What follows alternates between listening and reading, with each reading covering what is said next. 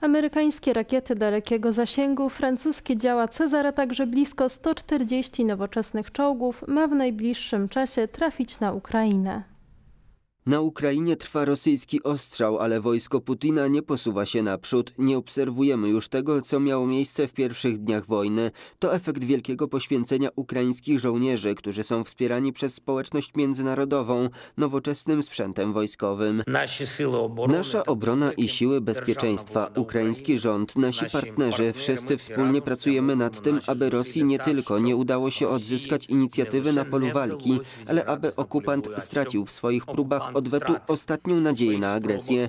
Porażka uniemożliwi jakąkolwiek alternatywę dla trwałego i niezawodnego pokoju. Mówi prezydent Ukrainy. Leopardy typu drugiego, Challengery, Abramsy, a być może nawet francuskie Leclerki. Nawet 140 różnego rodzaju czołgów ma w najbliższym czasie zasilić ukraińską armię.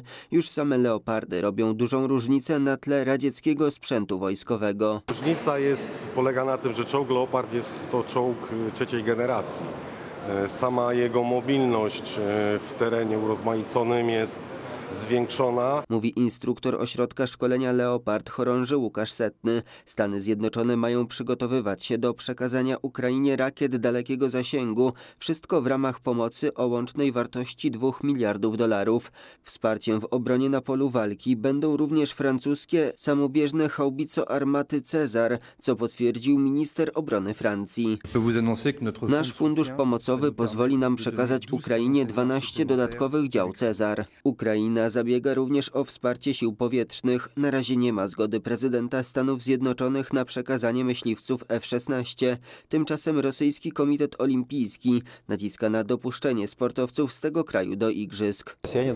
Wszyscy rosyjscy sportowcy muszą mieć możliwość udziału na dokładnie takich samych warunkach jak wszyscy sportowcy z innych krajów. Ukraińcy domagają się całkowitego zakazu udziału w igrzyskach rosyjskich sportowców. Oburzenie wywołała niedawna wypowiedź szefa MKOL, który stwierdził, że bada możliwość dopuszczenia Rosjan pod neutralną flagą.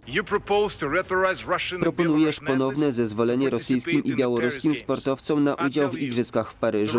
Mówię ci, Rosjanie są mistrzami olimpijskimi w zbrodniach na ludności cywilnej. Mają złoty medal w deportacjach dzieci i gwałtach na kobietach. Nie możesz umieścić swojego emblematu olimpijskiego na tych zbrodniach, bo będziesz wspólnikiem tej ohydnej wojny. To słowa byłego ukraińskiego mistrza świata wagi ciężkiej w boksie Wołodymyra Kliczko, brata mera Kijowa. Kraje bałtyckie i Polska już opowiedziały się za wykluczeniem Rosji i Białorusi z przyszłorocznych igrzysk.